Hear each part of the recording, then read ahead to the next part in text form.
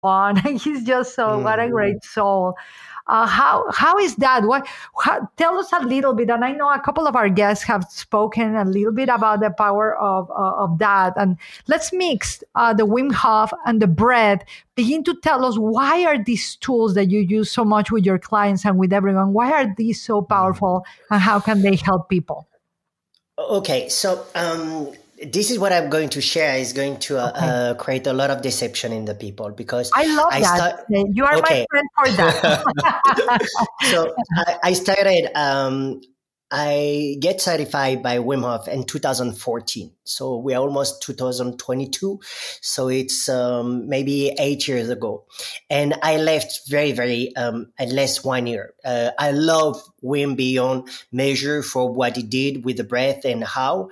And uh, it was a very good catalyst for me to uh, dig more in my journey because the breath was there from the Qigong, Tai Chi, and martial art I was practicing. And um, he reconnect me with this practice really similar to the uh, Tibetan called Tumo.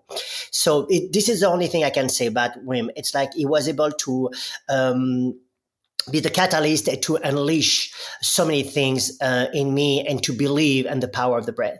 Um, I can talk about Dan Brule. Dan Brule, or you know him personally. Oh yes, was- he has been in our podcast and he's coming back. So we we have a podcast where we love him. I mean, yes, he's like uh, he's like uh, Dan. I know you hear this, so you, for, we love you so much. You're like the teddy bear of the breath. I love you so much. the teddy bear. And with him, it was to put more color in my palette. Uh. Uh, now I'm I'm working in the program of uh, Stanislas Grof, Steve Grof, the father of the holotropic breathing. Uh, you have so many flavor in um, like Buteyko, uh, Systema breathing, Qigong, Pranayama. Uh, I want to breathe with Sufi people. So it's so many, so many things. And what I share that because um, um in the Bible, they say at the beginning was the verb. No, at the beginning, not was the verb. At the beginning was the breath, because you cannot say a word without taking a breath. So you cannot speaking inhaling. You need to inhale and exhale. So why I share that because um, yeah. Wim was a very fantastic experience, and I appreciate that and it was only three colors in my palette. So now it's like um, uh, with all these colors, um, my sense of uh, breath has really, really uh, took a different meaning. Wow, and and and I, I noticed you know you you keep training the breath. I love your your you have like such a multidimensional approach very holistic very multidimensional. But i love of you that you're so focused on excellence. I can feel it. And anyone that meets you it's it's that you are a living walking invitation for excellence and that you use all of these tools just to have i love what you said to have more flavors in the palate right to have more experiences of life so how do you how do people learn with you? Like if I, Ivonne, I just met you and I want to learn from you your modalities, priming, uh, work, uh, how, how, wh- what is usually, what is a typical class session teaching with you? So basically, once a month, I do a, a live session in Malibu and I coach uh, very little people per year in one-on-one. Uh, I've got some coach and friends in Spain who uh, teach my style uh, because I focus like a martial art. As a coach, I cannot make uh, win uh, the season of several team. When you're a coach, you have one team, you coach them, they they win the season or not, or they're very close to their goal. And this is what I do. After that, once a month, you can come. But what I do basically, uh, you know, this saying in breath, uh, in the breathwork community, show me how you breathe. I will tell you who you are. And what I do, it's like going back to the base, uh, to be with the people and to know what is important for you and knowing this will stop and none of these things will matter. What is important?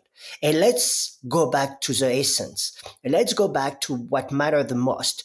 The quality of your breathing, the quality of your water, the quality of your food, the quality of your sleep, the quality of your affection, and the quality of your movement. Because this is a fundamental needs. All the reds are not needs. And when you can feed all these needs, now you can be a superhuman. And this is what we want to have this experience, um, amazing experience on earth, to make one breath at a time, one step at a time, one day at a time, one victory at a time. All the rest is just imagination. And what you suffer, the past or the future, it's just happening between your ears. So for sure you can hold things inside your body. As I said, the issue with a healing community, it's like how you work the cognitive, so the blah, blah, blah, how you work the somatic only in the body, how you work the spiritual using the breath or medicine. And really, it's like healing is not an identity, it's a transition. And you need to heal between your ears. You need to heal your body and you need to heal what is this invisible, the spirit. And when you can heal these three parts, now you can move forward. We never will move on because we recollect evidence and memories for to create our identity. And when the suffering is here, it's to put a stem time on that to be able to move forward because we never yeah. move on. So my work is to work on all these dimensions. It's what excellence is important because for me, it's about impact. This will stop. I don't know when. I pretend I know when it's going to happen. It's to be full. I need to keep this humility. I'm an external student. This is very important. A second, it's like how I can serve you at my best today with my tools and to be sure when you leave my space, you feel better when you come in inside my space. Wow, that's so beautiful and it's so true. We have had the privilege to learn from your wisdom in our network for human empowerment television that keeps growing. You know, you've been part of our community and, and we are. Yes, because community. it's in Spanish. I yeah, speak Spanish. Yeah, I, you speak Spanish, French, English. How many languages do you speak? Besides, you speak bread. yeah, bread, Spanish, English, French. so, wow. So, you know, you are such an incredible soul. And I love that you are a modern monk and really come with this holistic, multidimensional approach for supporting humans to truly become superhuman you know to mm. truly become superhuman because why not? Why not? And i i so love also how uh, focused you are in um, in organic living eating. I've seen you how you travel how conscious you are of you know you carry your like wooden bamboo spoons you carry your recyclable water bottle. I love that you know i, I do that I, I have those things too. So I notice, you know, you notice who you are. So, oh, so, so I'm going to ask you a couple of questions. And uh, yes. I just, you know, just go, they're like, uh, simple questions, but uh, we want you to answer them the first thing that comes to your mind. And after the questions, we'll do we'll we'll we'll go into the blessing and the closure of this podcast. I feel I need more time with you, you know, because I really right now it's like an introduction and all this wisdom that you have. Uh, let me ask you something before I go to these questions because you and I connected a lot through that. How important is to be in flow in these times of where people are talking about vaccines, viruses, when people are talking about reds and blues and rights or lefts, and and uh, and and a lot of us, not all of us, but a lot of us are distracted by the media, distracted by propaganda. How important now is to stay or access that prime yourself for a state of flow, which I truly feel that the Tao, right? The Tao, the state mm. of flow. Uh, how, what do you have to say for the circumstances of these times regarding that? Mm. So it's very interesting, and um, what you share. Um, um, last month, I traveled for three months, and during one month and a half, uh, I traveled in seven countries. And for me, it's like um, one of uh, my uh, mentor in Guru say it's like all the rules are my rules. And when I go in a country, I respect the rules of every countries. And um, and um, we need to understand uh, when we talk about racism, racism, it's like uh, if you read what is a race, it's human race. After that, it's ethnicity. Uh, the color of the skin is about, we talk about ethnicity, but it's only one human race. We are the only one who have so much ism, so much separation, It's like we have subspecies and one species, a human species, with a religion, with a politics, with vaccine, no vaccine. And for me, it's if it matter for you, do what you need to do. For me, it's like I cannot suffer something is between my uh, my ears. I don't watch TV. Uh, it's something it's like I watch netflix movies i like for sure. I'm not fed by the media. Uh, everything it's like on my feed is very selective because i don't consume i produce mostly content and i read.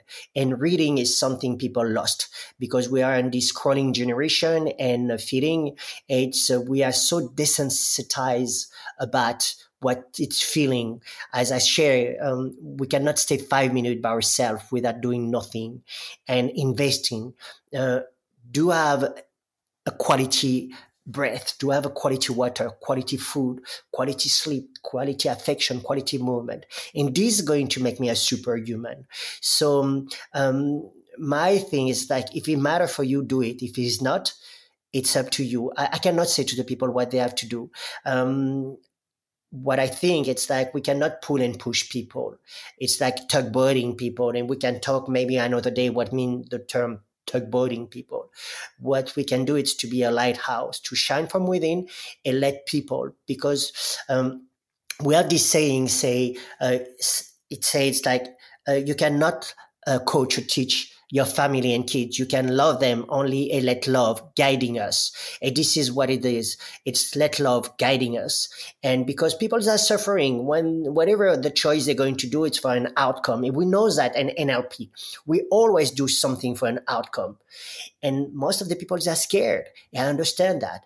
And when people they're fed they feed their scare with more and more things, it's very hard to be rational because we're not rational being. We are emotional being using our rational for to justify what's happening between our ears. And whatever you want, you can talk with people and they will always find excuses, fact, yes. justification for just justify what they feel. And yeah. this is how it is. Absolutely. Justifications are confessions of what I don't want to work on myself.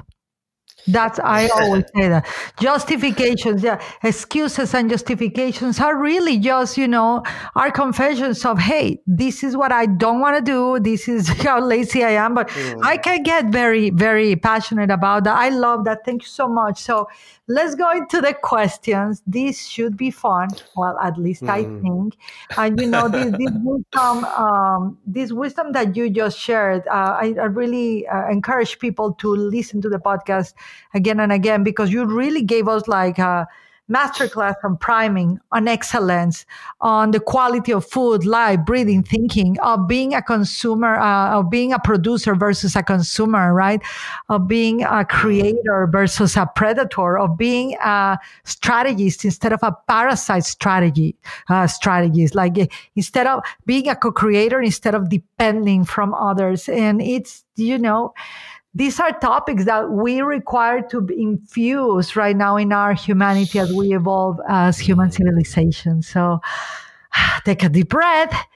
and now we go to some fun questions where or some deep and see what my beautiful friend um, Chris has to say. So, what do you think your future self of 10 years from now wants you to know in this moment? What, my friend? Because usually they ask, What do you wish you had known? What would you take to your past self? What would you tell to Eve 10 years ago? Well, I like to do things different.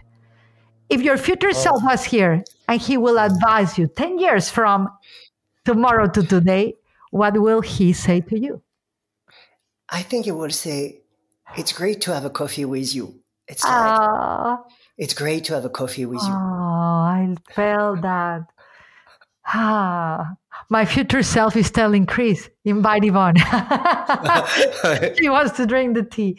Okay, what is your what has been uh, one of your biggest failures? Say quote quote, and what did you learn from it? Oh, I so it's very interesting. Uh, I, am going to make an extend answer, and yes. um, when I was uh, in my twenties, and um, for one lesson or one victory uh, I want to say when I was in my 20s for one victory, I had at least 30 lessons. when we call lesson now, it was failure. So in my